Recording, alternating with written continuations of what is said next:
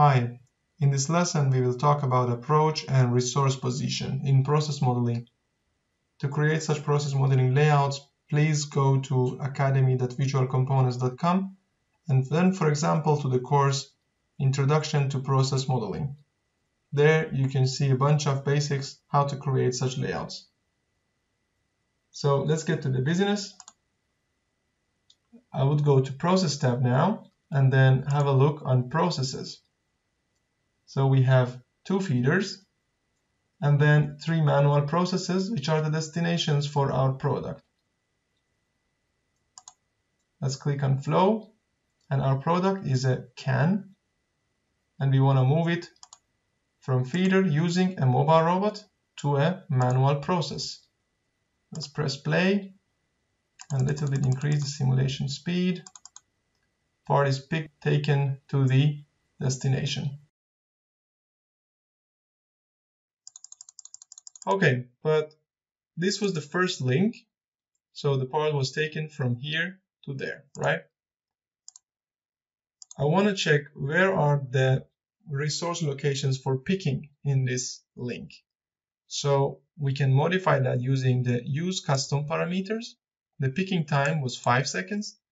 And then accordingly, you can also modify the placing properties. But I would just focus on picking and then same thing applies to the placing. So let's go to the top view, zoom a bit,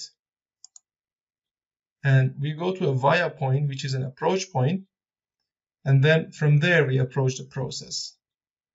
The approach point is set over here, minus 1000. And then there is an offset for picking as well, that it will offset the resource location there is an x, y, and z value. For example, in case I put this 500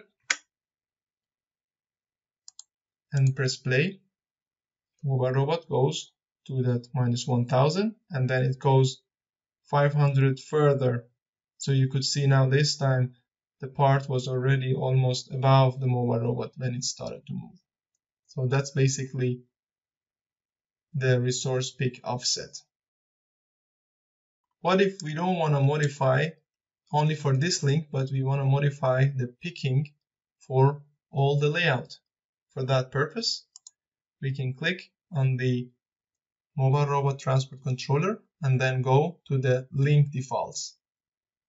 On link defaults, we can define these properties for all the links which are not using custom properties.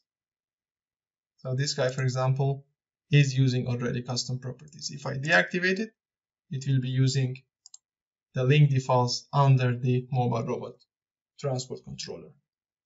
This concludes the video. This was Reza. Hope you enjoyed it. And in case you have further questions, feel free to open up a discussion on our forum on forum.visualcomponents.com and have a great day. Bye for now.